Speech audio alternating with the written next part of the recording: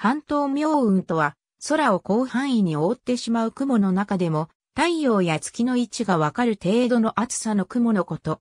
高層雲、高積雲、層積雲、層雲に現れ、雲の透明度による分類である変種の一つ。逆に太陽や月の位置がわからないほど、厚い雲の時は、これを不透明雲と呼ぶ。学術名トランスローシディスは、ラテン語で、半透明のという意味があり、これにちなんで名付けられた。半透明層積雲。太陽の輪郭がかろうじて見える。半透明層雲。太陽の輪郭がはっきりと見える。半透明らか不透明かの判断基準は、太陽や月の輪郭が判別できるかどうかの他に、太陽や月の光でできた物体の影の輪郭が判別できるかどうかといったものがある。空を覆う雲の厚さや雲の中の雲粒の密度、雲粒の大きさなどで雲の透明度が変わる。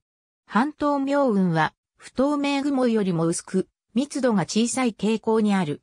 寒天望気としては、半透明雲は天候が崩れて雨が降り出す数日数時間前に出現することが多い。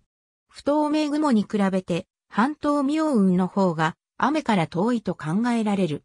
また、高層雲や高積雲の場合、半島明雲が空を覆っても曇りとなるだけで雨がやってこない場合も多い。高層雲は大抵の場合、半島明雲になる。ありがとうございます。